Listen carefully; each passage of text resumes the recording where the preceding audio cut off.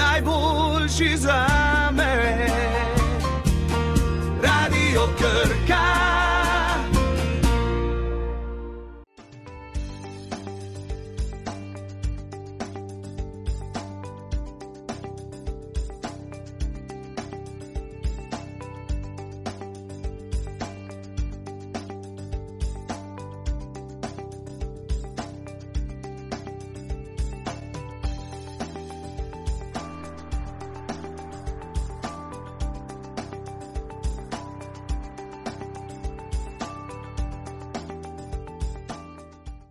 Vsi, ki se odločajo, zakaj priti na fakulteto za informacijske študije, uh, bom zdaj rekla, ni težava pri odločitvi, zato ker ponujamo pestro paleto znanj, ki so v sodobni informacijski družbi odločilnega pomena pri pridobivanju večjih možnosti za zaposlitev.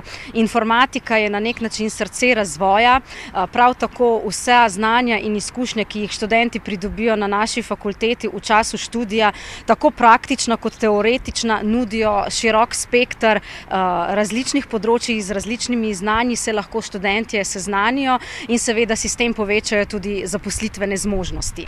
Zagotovo lahko rečem, da na FIŠ ponujamo izobrazbo za prihodnost, uh, pa ni pomembno le to, kako pester je nabor teh znanj, ki jih študenti pridobijo, ampak tudi dejstvo, da lahko že v času izobraževalnega procesa v okviru vaj in predavanj obiščajo različna podjetja, se naučijo različne različnega poslovnega bontona in izvejo, kako uh, ta podjetja pravzaprav izbirajo kader, uh, in tako tudi naši študenti pridobijo več možnosti uh, in informacij o zaposlitvah v podjetjih, tako v lokalnem kot regionalnem okolju in seveda na nivoju države. Pri nas je študent na prvem mestu. Omogočamo osebni pristop mentorjev, predavateljev do študentov. Znanje o sodobni tehnologiji podajajo mladi in strokovni profesori in asistenti. Študenti komuniciramo na sodoben način preko različnih družbenih omrežij, aktualne spletne strani in seveda se trudimo tudi za čimprejšnje odgovarjanje po elektronski pošti. Omogočamo brezplačen redni študij tudi za zaposlene. Urnik, kot sem že dejala, prilagajamo rednim, izrednim študentom, zaposlenim in nezaposlenim. In pa še ena stvar, ki je zelo pomembna, ne samo, da smo uspešni kot fakulteta na različnih mednarodnih projektih, tudi študente spodbujamo k temu, temu, da se uh, udeležijo kakšne mednarodne izmenjave, pridobijo delovne izkušnje v tujini, opravijo delovno prakso, se naučijo s tem tudi dodatnega tujega jezika in pa kulture.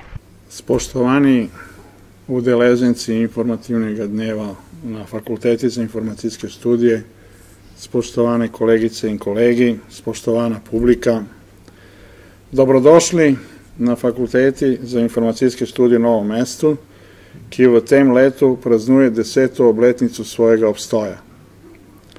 Gre za prvo javno visokošolsko institucijo v tem okolju, ki jo je ustanovila Republika Slovenija. Na to smo zelo ponosni, obenem pa se lahko pohvalimo, da vsako leto naša fakulteta raste, se razvija, krepi svoj ugled in dosega odlične raziskovalne rezultate. Dovolite mi, da omenim le nekatere pomembne številke, ki kažejo na takšen razvoj. Na Fišu imamo danes 50 zaposlenih, 20 pogodbenih pedagoških sodelavcev, trenutno izvajamo 30 raziskovalno-razvojnih projektov, mednarodnih in domačih, Na naši fakulteti je dosaj, do sedaj diplomiralo že 198 študentov. Na Fišu težimo odličnosti, ker jo jemljamo kot svoje poslanstvo. Kajti v prihodnosti biti dober ne bo dovolj. Zmagovali bodo samo najboljši. Pri nas izvajamo pet različnih študijskih programov, jaz pa bi rad povedal nekaj o tem, kaj vse se lahko na teh naših programih naučite tekom študija. Uh, ne glede na to, na kateri program se boste upisali, boste pridobili en kup različnih uporabnih znanj. Mm, imamo na vseh programih zelo širok izbor predmetov, in posledično bo po zaključku študija tudi vaše znanje zelo, zelo široko. Z mano se boste srečali tisti, ki se upisujete na prvo stopno študija in sicer že v prvem letniku pri predmetih eh, uvod v programiranje in uvod v algoritme. Če pa se upisujete na smer računalništva in spletne tehnologije, pa še pri matematiki 1 in matematiki 2. Zdaj pri vseh teh predmetih in še pri večini ostalih predmetov, ki jih boste poslušali na naši fakulteti, um, boste uporabljali dodatna programska urodja. Brez programskih urodij zdaj si skoraj ne moremo predstavljati izvajanja predmetnika. Um, in ravno v teh programskih urodjih je tisto dodatno, dodatna vrednost mogoče našega študija. Lep pozdrav še iz moje strani. Moje ime je Dejan Marold in sem študent na tej fakulteti na drugi stopni, predtem sem pa tudi končal že študij na prvi stopni. Danes ste tukaj, ker se odločate o svojem nadaljem študiju, o svoji nadaljni karieri. Jaz sem bil pred nekaj leti čist na istem položaju kot vi, ampak sem pa imel težavo se odločiti, kaj bi dejansko rad študiral. Vedel sem, da pač me zelo zanima informatika, to sem si najbolj želel, nisem se pa hotel omejiti samo na, na to področje. Fakulteta za informacijske študije mi je tukaj v bistvu prišla v veliko pomoč, ker mi je ponudila študij na dveh področjih hkrati, se pravi na področju informatike in na področju družboslovja. To mislim, da mi še pač dan danes v službi zelo pomaga. To dvoje gre pač tudi z roko v roki in pač je res lepo se je ne omejiti na, na eno stvar. Poleg znanja in izkušenj, ki jih fakulteta ponuja, oziroma jih, jih je ponudila med samim učnim procesom, ponuja še ogromno drugih stvari. Tudi med drugim te stvari, ki smo jih tukaj slišali. V desetih letih, odkar obstaja, se je fakulteta zelo razvila, en ogromen napredek je tukaj.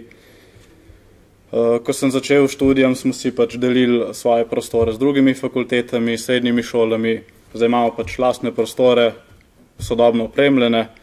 Ves čas imamo študenti tudi možnost sodelovati na sofinanciranih projektih, ki se izvajajo tukaj. S tem imamo veliko možnost tudi sodelovanja z gospodarstvom, ki nas konec koncev tudi na koncu zaposluje. Prav tako na teh projektih sodelujejo naši strokovni sodelavci, se pravi profesori, asistenti in s tem tudi posledično nam predajo to obširno znanje. Organizirane so tudi razne delavnice in pa obiski podjetij, kar nas spet nekako spoznava z našimi delodajalci. Fakulteta torej ponuja širok nabor znanja, na vas pa je, da to znanje izkoristite pridobljeno znanje meni in mojim sošolcem, ki smo tukaj diplomirali ali pa še bomo pač uh, dokončali študij, nam zelo pomaga v naši karieri. Uh, kar nekaj nas je zaposlenih v podjetjih, ki so znana, priznana podjetja in nam to pač koristi. Uh, konec koncev to pomeni, da način, na katerega fakulteta predaja svoje znanje, svoje izkušnje, je učinkovit, je pač uspešen jaz bi sam rekel tukaj, pač, da se mi zdi, da je ta poklic uh, zelo, zelo cenjen, uh, zelo se ga išče, če dalje bolj. Mogoče predno grem konkretno na ta projekt in na hitro povem, kaj smo tu počeli, bi se navezala na Dejanove besede, ki je omenil sodelovanja v projektih in sicer ne omenim, da naši študentje imajo možnost različnih sodelovanj tako v domačih kot mednarodnih projektih in ravno tu je tisto bistvo, da se skozi projekte pride do tega, da se lahko vso teoretično znanje prenese v gospodarstvo, kjer se potem kasneje naši študentje zaposlijo. Uh, primer projekta platforma e-symbioza um, je potekal v okviru razpisa po kreativni poti do praktičnega znanja. Uh, Sodelovali smo z lokalno skupnostjo, konkretno z dvema podjetjema tule v lokalnem okolju. Sodelovalo je osem študentov recimo na tem projektu, pedagoški in pa delovni mentori. konkretno sodi pri ta projekt v področje krožnega gospodarstva, kot vemo, si danes tako Slovenija kot vse ostale evropske in pa tudi svetovne um, inštitucije in pa dejansko države prizadevajo po vseh strateških prioritetah priti v krožno gospodarstvo. In v tem projektu smo razvili dejansko prvo to vrstno platformo v Sloveniji, ki tako industrijskim kot neindustrijskim podjetjem omogoča.